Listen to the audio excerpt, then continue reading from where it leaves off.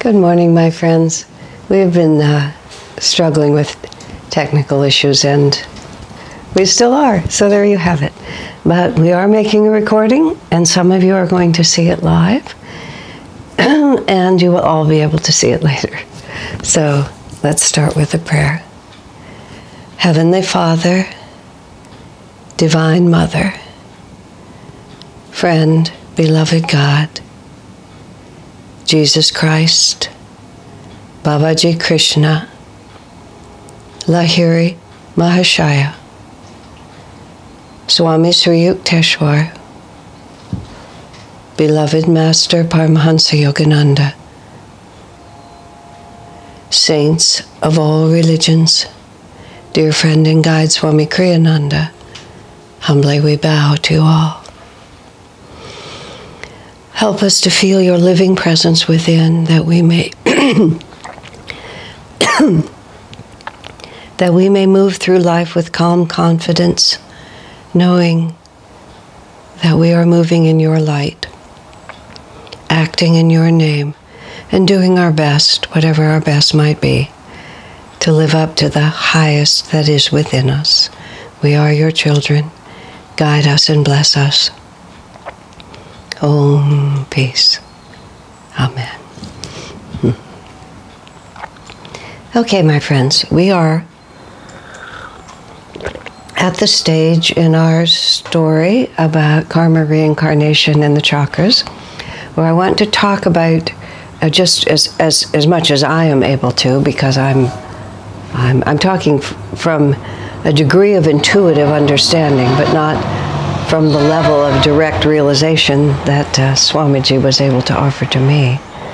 Um, but here, here's, here's what we're working with. We, we, the last time we had a session, we talked about how the chakras, we're using a different way of talking about the chakras now, where we talk about firm commitment to the material world as the reality and the understanding that the spiritual world is the only reality. And the picture that I set up is that every single time we, we, we, we think, we act, we feel, we speak, we're, we're motivated by our perception of reality. It's just as simple as that. That's just how it works. And what the what the process is and why reincarnation takes place, as I as I was explaining, but I'm summarizing so we'll really understand this. Because our perspective uh, for many millions of lifetimes is egoically based, and what that means is self-definition is limited to the senses and the perceptions that I can have here. And I talked about the sixth chakra having two poles. And we either have our sense of self at the medulla, which is the egoic pole, or we have our sense of self between the eyebrows, which is the um, I am one with the spirit perspective. And, and because everything is actually energy, what what is going on in this universe not i mean when if everything is energy the mere shedding of a material body does does not in itself shift the energy pattern it shifts the experience that the individual jiva is having but it doesn't it doesn't automatically dissolve all those identifications all those self definitions all those experiences so every time we do anything, the energy of what we do is registered in the each in the in the chakra. Now, the word chakra means wheel. That's what that's what it is. Um, the spinning wheel uh, the, on the flag of India, because Gandhi was dedicated to the spinning wheel. So you have the chakra, which also meant the spinning wheel, because he was trying to bring India to a simpler way of living. That's all beside the point. But the chakra is wheel, and the word vritti of vritti is a whirlpool. And so we, we speak of vrittis in the spine, lodged in the chakras. All of this is about energy patterns. The chakras themselves, it's an energy field. It's not a, it's not a physical thing that you can hold in your hand. Someone wrote to me once and had had a hysterectomy and was told that their second chakra had been removed by the surgeon. And they were very concerned. I wrote back and I said, That would be quite a surgeon.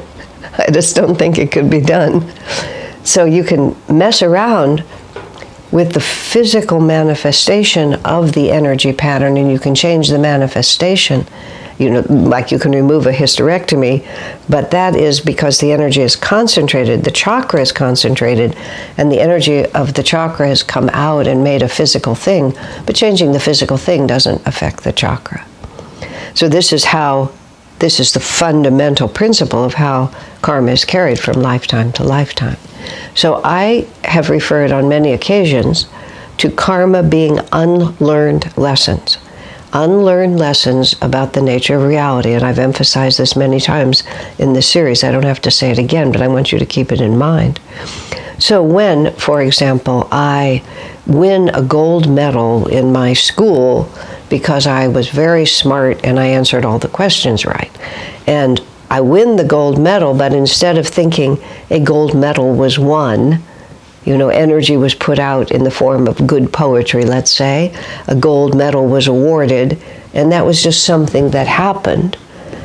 Uh, I say, I won the gold medal because I wrote the poetry and then I was recognized and in my chakras at the appropriate place. Now if I if I realized that the poetry was given to me by, by God. I didn't have anything to do with this poetry. Even if I know it came through me, there's no sense of pride, there's no self definition, there's no self worth related to having won the gold medal. There's no walking around all the time thinking about my gold medal. It was just beautiful poetry was received, beautiful poetry was offered, a gold medal was changed hands, but there's no um, there's no continuing energy pattern in relation to that unless the I grabs a hold of it and defines itself. But much more likely, when I win the gold medal for the poetry that I wrote, it registers. Maybe it registers in the heart chakra as a feeling of expansive joy. What a joy it is to share this poetry. And the emphasis is on the joy of the fact that everybody enjoyed this poetry. What if it if it re registers at the third chakra? Is that now that I've won the gold medal, you know, people are going to have to listen to me when I talk about poetry, and I'm going to leverage that influence, you know, into some other things that I really want to see happen. So the event has happened, and there are many different ways that that event could be uh, received and it is received according to the rest of my energy pattern as to who I am. So let's say um, it's registered at my third chakra, and what I feel from having won a gold medal is an increase in personal power. Now, not an increase in personal power that goes upward to being more loving, to being more expansive, ultimately to being in tune with God. If I move all the way to the sixth chakra, it's personal power that if people recognize me and give me gold medals, there's a lot of other things I want. And of course, the reason we do it is because we think that we'll have more happiness and less suffering if I have personal power. But this is not exactly true. There are many things wrong with that perception. First of all, where did the inspiration come from? Will you actually be happier if you have more power? How important is it to get gold medals? Are, is your self worth really dependent on whether you get gold medals or not, or have power over people? When we were first starting our, our Living Wisdom School here in Palo Alto, which is now, we're in our 30 some years here, we did some. Uh, I say we because I was I was instrumental in the founding of that school. Um, I'm not a school teacher, but I I'm an entrepreneur, so we I was instrumental in getting going. And we went around and visited some of the local schools, the uh, schools that we thought might be a little more in tune with what we were doing, partly just to see where we might fit, you know, in the educational community, also just, just to get a feel for things. So we went to what is considered to be one of the most prestigious and most progressive. It wasn't Waldorf, which is um, a little more aligned with us, but it was just a private school, but it was considered to be very progressive in the ways that we would consider progress. And one of the things that they had in their elementary school, and it was about a fourth grade uh, program. They had a bulletin board and they had a, a self esteem tree. And each of the children, which was like 25 or 30 kids in these classes, had made a leaf for the self esteem tree and they'd put it on the tree. Okay? There were, like I said, more than two dozen leaves on that tree. And, and I, and perhaps we, stood carefully and I read every single one of them. Let's say there were 26. 25 of them were that the children felt that they were worthy human beings because they had accomplished something external. I got 100% on my spelling test. I kicked the winning goal at the soccer game. You know, I'm way ahead in my math book. This was a school in which they juried the children for IQ, so everybody was a high achiever. And everybody was claiming their self esteem because of what they had accomplished externally. One child said, I'm not as moody as I used to be. You know, just spoke of some inner victory that had to do with their actual ongoing character. Now, of course, the problem with what they were doing, great that these kids are excelling academically and so on. You know, sure, why not? But everyone was basing their self worth on the external events of their life, which just works great until you get fired and then you can't get a job or you get blackballed for something that you never did or you have a brain injury and all of a sudden you can't work in exactly the same way. You, you know, just make a list when when the external world, which is ever unreliable, does its inevitable thing, which is the only certainty is change, and you've been trained since you were in the fourth grade to believe that your self worth depends on what you accomplish externally and how the world recognizes you. This is called karma because it's an unlearned lesson. And those children being trained to think that way, they're building vrittis in their spine, and the vritti is a center point of energy, which is it makes me happy because I avoid suffering because the reality of who I am is this. So you, you, you plant a, a magnetic center point. That's your the center of your vritti. And then a great many other things begin to happen around that center point. A great many other things, like where you put your energy, what causes you to have happy feelings, how you relate to the people around you, um, how you relate to your parents, the, the professional choices you make, the kind of spouse you choose, you, you, you choose, how you raise your own children, whether you have children, you know, just watch because there's a center point, and then you keep making decisions based on that center point, and pretty soon an enormous amount of energy whirls around. This is the vritti. Just think of a in in a river. The river is cheerfully heading down to the sea.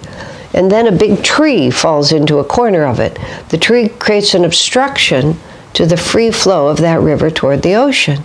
And so now a great deal of the river instead of doing its appointed destiny, which is to merge into the sea, spins around the fallen tree. And the more it spins, the more powerful it gets, and more of the river keeps having to go into it. Now, you can kind of like try to pull the water back into the river. Maybe you get a little bit in, but what you really want to do is you want to go in there and you want to pull out that dead tree. You want to remove the center point that causes all that energy to be deflected from its primary purpose. That, that is a vritti, that is an unlearned lesson about where my happiness really comes from. That's karma. That's what it is. And it, it's, it's marvelously mysterious because we are often a mystery. That's what makes it mysterious, is that we are a mystery to ourselves. Now, I'll give you an example that I learned when I was 18 19. I always want to, I, I, like to tell the truth. 19. Yeah, I was 19. Um, I went to live in New York City with friends. I was, I, I had just been introduced to the spiritual path. I was very deep into it. I hadn't yet, I hadn't yet met, met Swami. No, I hadn't met him. I met him the following year. Met him six months after this happened, actually. Um, and uh, we went to New York City because we had friends there, and we we, we, we were we were following Jesus's um, instructions without realizing it, which is to go out and share the good news. So we had discovered the meaning of life. So we were going to meet a friend in New York City, spend the summer living there, to tell him the good news because we had discovered an enormous secret about where happiness comes from and what causes suffering, which was the path of self realization. It, it crystallized for me when I met Swami, but it started before I met him. Now, let me get this whole story straight. Um, I was raised in a very good home, and uh, I, I, have, I have nothing but gratitude for the family I was raised in. But my father, especially, was very conflict averse. And so I I grew up thinking I was a I was a debater. There were certain there were certain environments in which I would be very forceful. Um, but nonetheless, deep within myself, I was very conflict averse, and I felt that if people actually started yelling at each other, it was probably the end of the world. And so it was extremely important for me to keep the world from ending. So I, I was accommodating. Um, people who know me now might find that incredible, but that is, in fact, exactly what I was. And uh, so I ended up in New York City, and I began to realize that what appeared to be an accommodating personality was not really that I was nice, it was that I was afraid. And so let's think about a vritti. There's a center point in that vritti. Now, I thought the center point of my vritti was that I was nice. But the center point of my vritti was not that I was nice. The center point of my vritti was that I was afraid in, in many circumstances, not all, but many circumstances to contradict, to stand up, to assert what was appropriate. So I there were a lot of things in my life that I some of which I did not solve that summer in New York City. I but but there were a lot of things in my life that had all been attracted because of the center point of fear of conflict. So I'm a California girl now. I, I grew up in Texas actually until my until I was 15, but I'm a California girl. You know, we're mellow in California. You know, I live in the Bay Area. We're nice. New York City is different. Let's just put it like that. So it was a perfect place to learn to just speak up in the smallest ways. I mean, literally, I went to the grocery store and I saw that the clerk, when he was weighing my vegetables, was pushing on the scale with his thumb. you know, just because I'm very observant, he was just, you know, adding a few ounces so that he could get a little more money from me. I just watched him do it, never said a word. You know, I'm in the grocery line. The grocery store became the place where I began to learn a lot of things. I'm in the grocery line, I'm standing there, I'm in line, and some, you know, hussy just comes in and cuts in front of me. And I just let her cut in front of me because I'm nice. But I wasn't nice, I was afraid. So I decided okay, I need to learn the lesson of not fearing conflict. And so I started practicing where there was nothing at stake. You know, this the, the clerk in the grocery store, I who cares? And in New York City, when you say, hey, buddy, take your thumb off the scale, the grocer just laughs, nice try. You know, I mean, it's like eh, nobody cares. In California, it would just be a huge scene. In New York, nobody even notices. When the gal tries to cut in front of me and I just elbow her aside and push forward and tell her to get behind me, once again, we're just having a, like, you know, it's a morning, we're talking to each other, you know, it's nothing. So I began in perfect environment to dis dismantle that vritti. That summer, I was never actually able to stand up in the arenas where I really needed to, but I started. I diminished. I diminished the fear. And what happens when you diminish the, the power of the center of the vritti is that a lot of the energy that's just been spinning around this issue, because we have to constantly keep it alive, we have to make sure that no conflict arises, and tremendous amount of subconscious energy goes to keep this one going. This is called denial. This is called all kinds of things that people have words for, but it's it's an energy vampire is what these vrittis are. So then I want to go forward in something that appears unrelated to, uh, to, to write a book or things that I started doing later in my life or have a healthy relationship. And for some reason, I just can't find the energy to do it. And I'm, I, I want to, but I have karma over here, unresolved karma that prevents the success, which all sounds, again, very mysterious. But when you think of it like this, it's not. I'm, I'm, I have locked energy over here, so I don't have access to it. You, you can think of it like my creative project, my desire to, well, I, I, mentioned to form a relationship, to relate properly to people, to be appropriate with my children, to rise in my company, you know, to develop my singing voice, whatever it might be, it's going to require the capacity to use my willpower to direct that energy in a certain way. And so I have to have access to that energy. And in order to have access to that energy, I have to figure out why so much of the river is not flowing to the sea, but just seems to be hanging around somewhere where I don't know where it is. Now, this is the, sort of a small picture of what this is about, and just, you know, through New York. Let me finish New York because it was actually very funny. Um, I got quite good at that.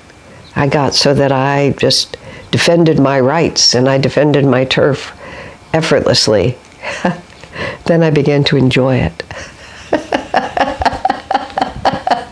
and so I was no longer afraid of that kind of conflict. And here I'm making another vritti over here. And this vritti is, you know, I have a third chakra that's really raging now, and don't you mess with me, buddy. And like that became my new self definition and my new uh, source of happiness. But by then I was a little more alert and I said, no, no, no, no, no. Now I'll be nice because I don't, I mean, I'm not going to let the guy steal from me in the grocery store, but the lady is more of in a hurry than I am. Let her have it. Because fundamentally, actually, I am nice, you know? I'm not fighting for my position and all those sorts of things. But now the center of my vritti was not fear. It was a conscious choice that this kind of behavior brings me more happiness genuinely because I'm not just um, contracting myself into the smallest version of myself, but I'm willing to see myself as part of a greater reality. And what pleases my brothers and sisters also pleases me. So I'm now I'm moving up the chakras from this thought that from this ego perspective that it's all about me, at least toward the spiritual eye perspective that we're all in this together and how can we help. Now, what happens to us is over the course of one incarnation, I mean, think about it, people, the um, psychiatrists and psychologists at a certain point, and I'm I'm not a student of, I'm extremely knowledgeable in a very narrow area, and I have little random bits of information in others. And I know that in psychology, which I've never studied formally, of course, a great deal of self realization goes into the field of human psychology. But I know that there was a certain point when psychologists began to realize that even though you couldn't remember what happened to you in your childhood, your childhood was influencing you. So wait just a moment. Oh yes. So in the course, you know, of one lifetime, um, things happen. I was reading a, a very interesting book. Just I'll just I'll just promote it a little because it was so fascinating. Turns out it was published in 1974, so it's been around a while, by a man named David St. Clair, and it's called Psychic Healers.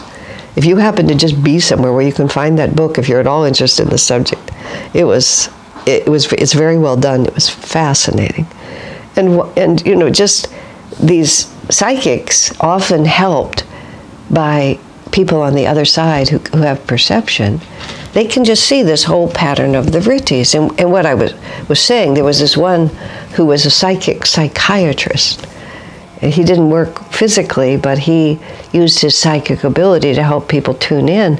And they gave multiple examples of how, how some traumatic thing happened to someone when they were very young, which, I mean, this is common knowledge now, which just gave them a worldview that they had followed ever since. Unexamined, unaware, but a very strong vritti had been created because this is, you know, this mother father child relationship can often define your expectations of reality. But of course, when you take in reincarnation, it's like, why were you born to that situation?